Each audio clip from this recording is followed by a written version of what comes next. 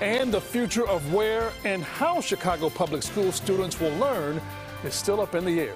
Good morning, everyone. I'm Ryan Baker. Thanks for joining us today at 11. Audrina Bigos is on assignment. Once again, Chicago public school students are learning remotely today. The reason? No deal was reached between district leaders and the Chicago Teachers Union on a COVID safe return to the classroom. CBS 2's Mugo Odigwe is live in our street side studio to sort out the ongoing dispute. Mugo.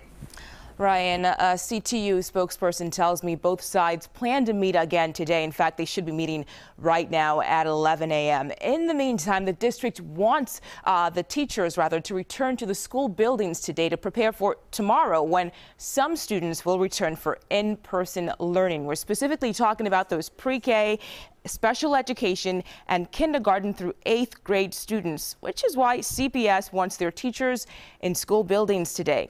Last night, Mayor Lori Lightfoot said progress was made days earlier on discussions like safety protocols, ventilation, contact tracing, and health and safety committees. But negotiations came to a halt on Sunday. Both Lightfoot and CPS CEO Janice Jackson said yesterday there'll be consequences if teachers don't show up today all teachers, pre-K through 8, and cluster teachers must report.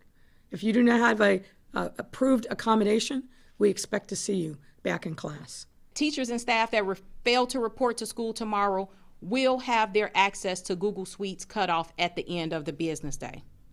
On the other hand, CTU says one sticking point is how the district can accommodate staff living with medically fragile family members or loved ones. Members are also concerned about the district's plan to get teachers vaccinated.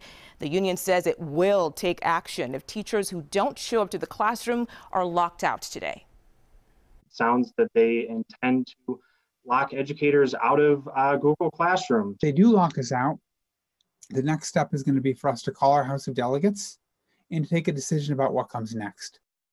So a spokesperson tells CBS 2 that decision could be a teacher strike as early as tomorrow. But again, it all depends on what happens today.